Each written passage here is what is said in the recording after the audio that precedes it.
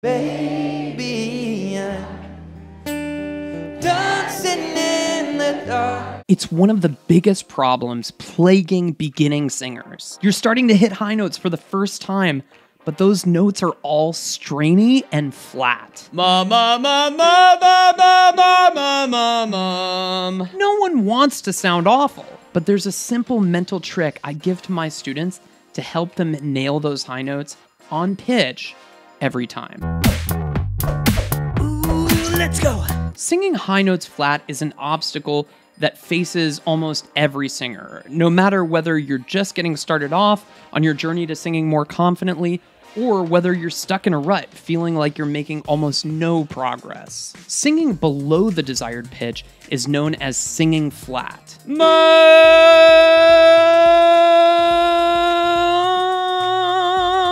Or you may be singing above the desired pitch, which is known as sharp.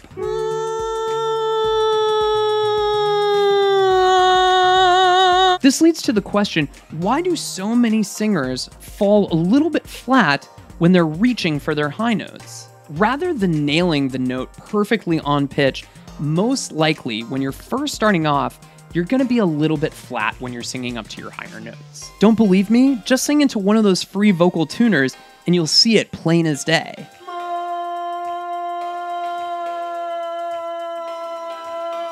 The answer is right there in front of you. You're reaching for high notes. But if you're not supposed to reach for the high notes, then what the heck are you supposed to do? I mean, everyone knows that in order to sing high notes, you have to lift your chin and, and puff out your chest and make a really funny face, right?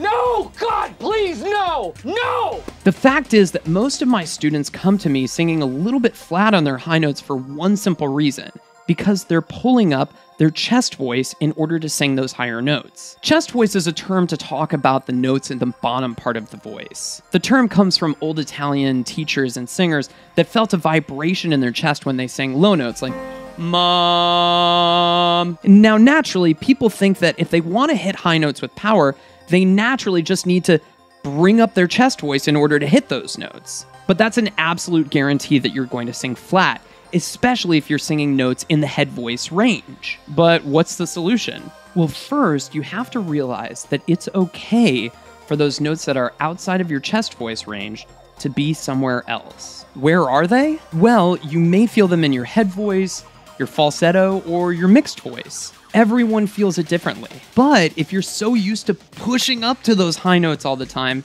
you may actually have to sing those notes in falsetto a little bit. Ma ma ma ma ma ma ma.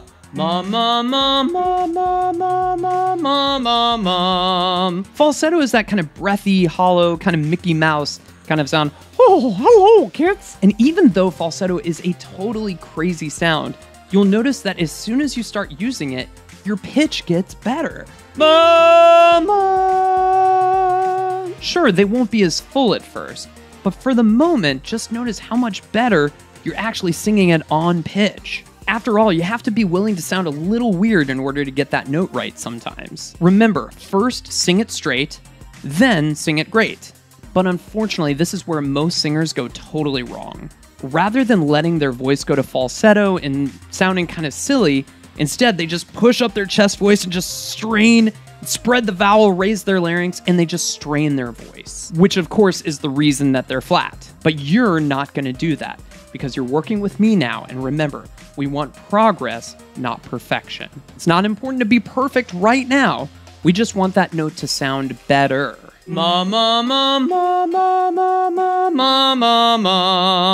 So now that you're singing that high note in falsetto, but more on pitch, it's time to learn how to sing that more fully. This is where it's absolutely crucial for exercises to come in. You could sing a gi, nay, mum, whichever one works the best for you. But now, go there with a fuller voice. Mom, mom, mom, mom, mom, mom. But almost as soon as you start singing that note, you're going to notice a big problem, which is that note's going a little bit flat again. That's because as soon as you start singing that note, with more voice and more volume, you're naturally using a little bit more muscle than with falsetto. That muscle is like an anchor weighing you down, bringing your pitch down just a little bit. Now, this is where the Jedi mind trick comes into play. These aren't the droids you're looking for. Rather than pushing up to that note from the bottom like you were at the beginning, I want you to now imagine that you're coming down to that note. You're singing on top of the note rather than pushing up to it. But I have to warn you, at first, this is going to feel totally weird. So instead of thinking of having to reach up for that note, instead, picture yourself on top of that note. Ma ma ma ma ma ma.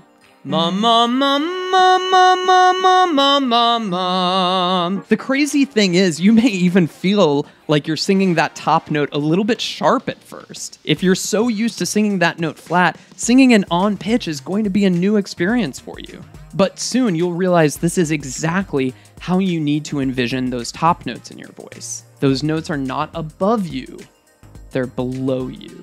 When you perform this simple mental trick of allowing your voice to go where it naturally wants to go, rather than pushing up to it, you'll notice that all of the flatness and the strain immediately disappear from your voice. But keep in mind, it's really likely you're going to have to practice this habit over and over and over again until it's really second nature to you. Having the right exercises is everything here. Let's start by taking away all the strain and the flatness from your voice so that you're on that pitch and in tune every time. Click here and we'll get started.